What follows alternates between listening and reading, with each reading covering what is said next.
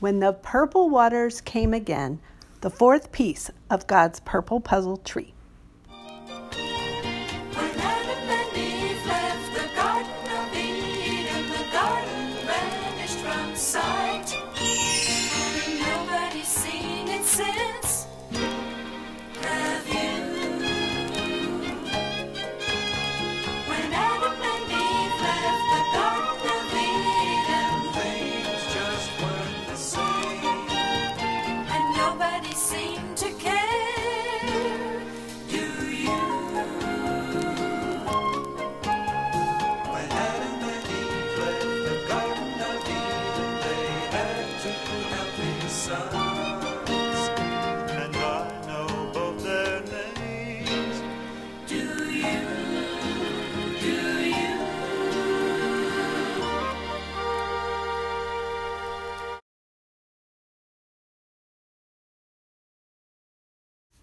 That's right.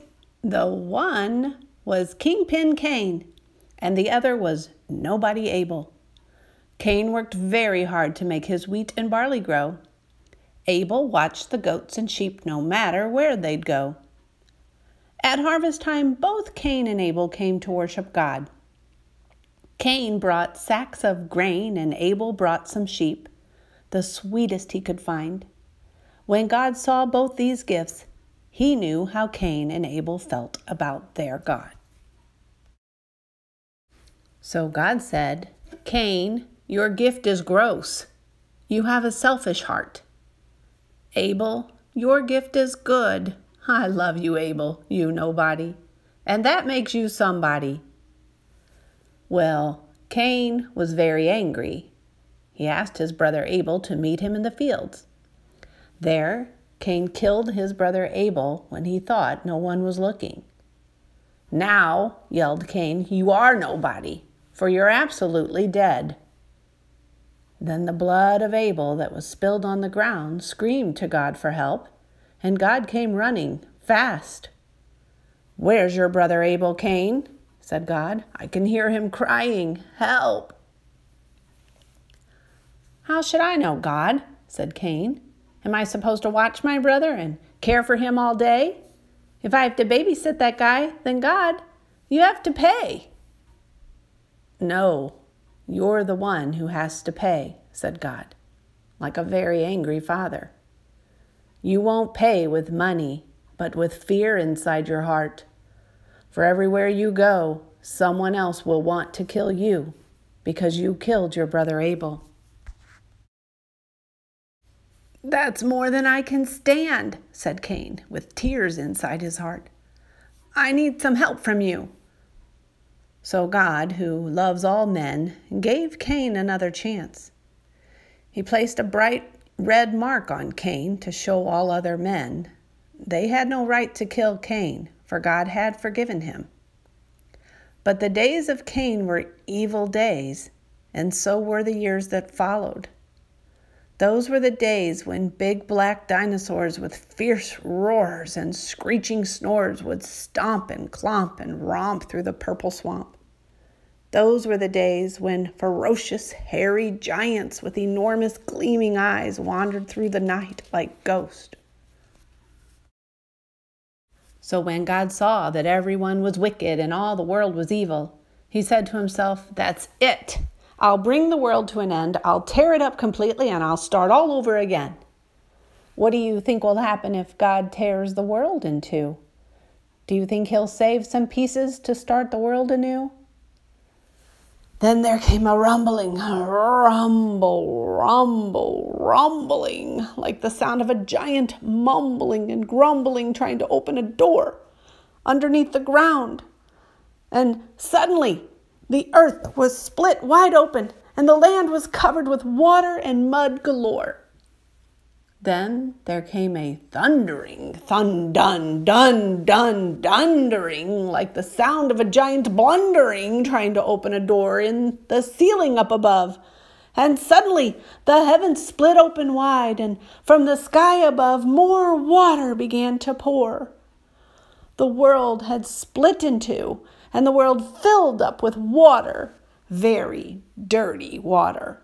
that looked like a dirty purple. The water kept on churning and churning round and round and up and down and in and out and everywhere there was, and it made an ugly sound like.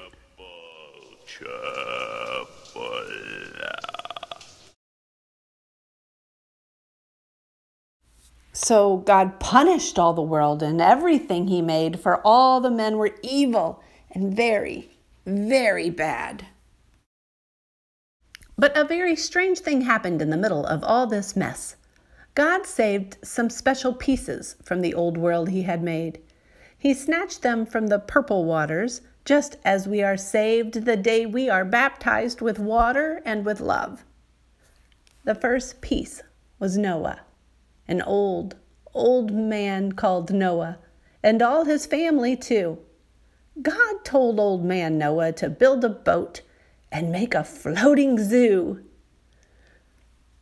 So he took some ants and he took some snails, some clumsy kangaroos who have very funny tails. He took some fish and took some crows and some camels with a hump and the happy hippopotamus who has a very dirty feet that make a funny sound like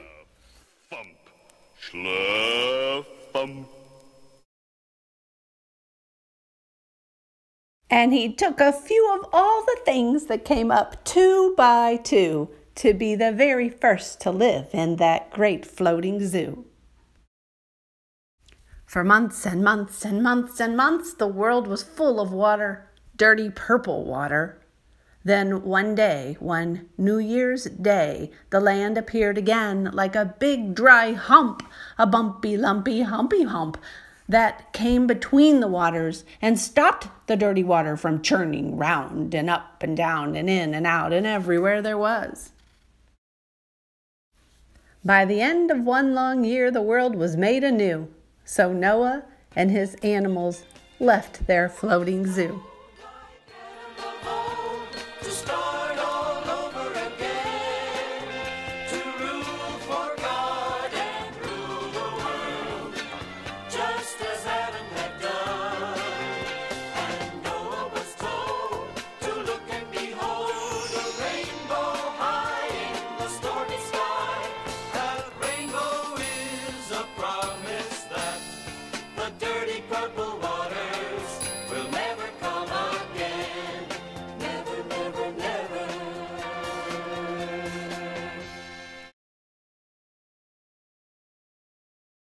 And I'm sure they never will.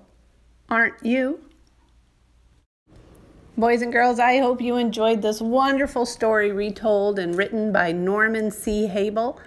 And I want you to be encouraged to go check out the true story of Noah written in the Bible in Genesis chapter 6 through chapter 9.